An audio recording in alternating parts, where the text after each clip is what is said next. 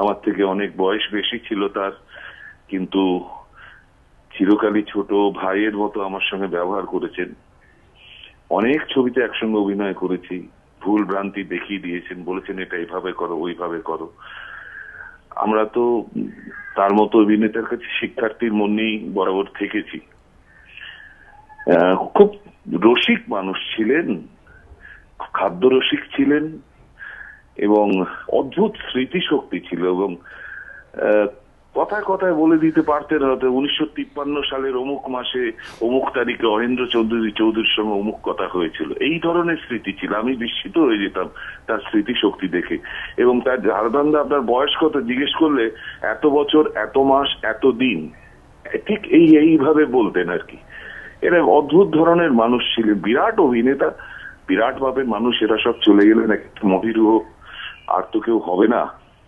আমি তার আত্মার শান্তি কামনা করি।